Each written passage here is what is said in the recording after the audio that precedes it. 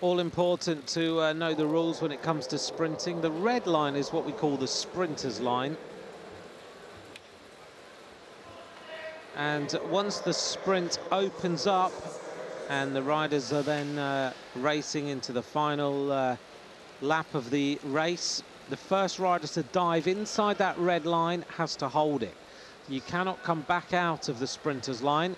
And once you've actually dived inside the red line, your competitor cannot try and go inside you. They must overtake on the right-hand side. Stephanie Morton now accelerating. Sze Lee trying to get uh, back on terms, but she's left herself an awful lot to do here. Stephanie Morton is accelerating, but Sze Lee somehow has got back to the slipstream of the Australian. Oh, that was very, very close indeed. I'm not sure who got that.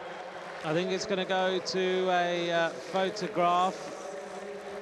And it does, uh, but uh, here's the answer. Who gets it? Look at that. Wai Sze Lee had the acceleration around the top of that uh, banking there and takes uh, the first race between her and Stephanie Morton. 1-0 to the rider from Hong Kong, China.